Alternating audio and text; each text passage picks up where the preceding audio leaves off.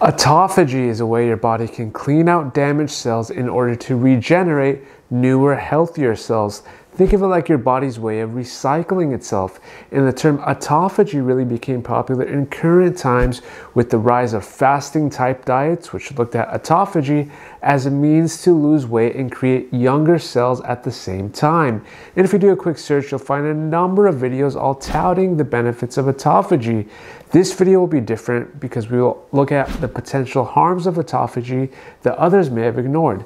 This is so you can get a complete breakdown of it all right here and see if autophagy is worth it for you. If you guys are new here, this channel is all about helping you make informed decisions as well as be in the know when it comes to your health and wellness. And I'd love for you all to gently tap on that like button down below. And if you really like the content, then consider subscribing as well. Also, if you guys are on Instagram, you could follow me there too. Now, without wasting any more time, let's get straight into it. What is autophagy? The word autophagy comes from two Greek words, autos meaning self and phagomai meaning to eat. Put it together, you get self eating. But why on earth would you want to eat yourself? Well, you wouldn't. You'd want your cells to eat themselves. And what do I mean? The easiest way to explain it is to think of it as quality control for your cells. You see, over time, too many junk components in a cell take up space and can slow or prevent a cell from proper function. Kind of like when you have a lot of apps on your phone that slow your phone down.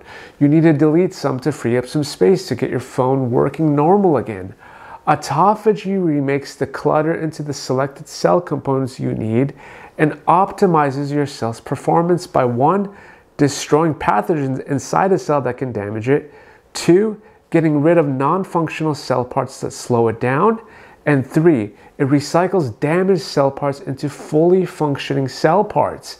And all this is important because it's essentially one way your body can fight off disease and live a longer and healthier life along the way. And all this already is taking place inside you to some degree.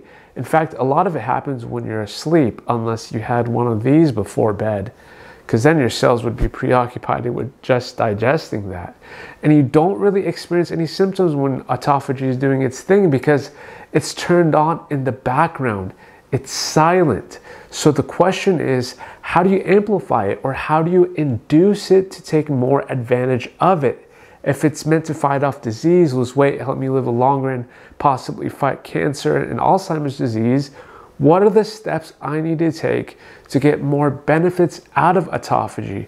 Well, to answer that, let's take a look at what turns autophagy on. And there are three main ways to do it. The first is calorie restriction. Generally, a 10 to 40% reduction may work well in this setting because essentially what you're doing is instead of depriving your body of calories completely, as with fasting, you limit them. And this forces your cells into autophagy to compensate for the lost nutrients. The second is fasting, and this is a big one and talked about a lot when it comes to autophagy. Fasting deprives your body of nutrients, forcing it to repurpose cell components to function. And this relates to both intermittent fasting and extended fasting, which increases autophagy. And the big question is how long do you need to fast to get those benefits? I'm sure that's what you're wondering. There isn't a ton of studies that measured this length of time needed on humans to achieve it because a lot of it was done on mice. And one day in a mouse is different than one day in a human, metabolically speaking. And I can't imagine how many variables exist with this, as everyone is different and they will achieve it at different rates. But some research has shown that autophagy kicks in after 12 to 16 hours of continuous fasting, while the Cleveland Clinic mentions 24 to 48 hours. So it depends. And lastly, exercise, as exercise can also induce autophagy in muscle tissue. By increasing what is known as autophagy markers in the body, microtubule associated protein light chain 3, or LC3 for short.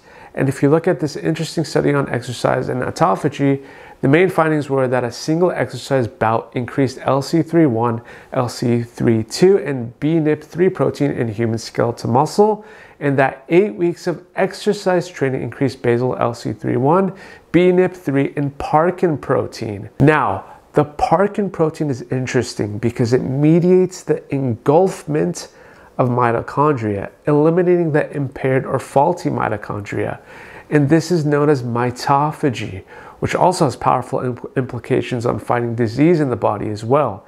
And this is why exercise benefits are so diverse, since you can find it even on a mitochondrial level.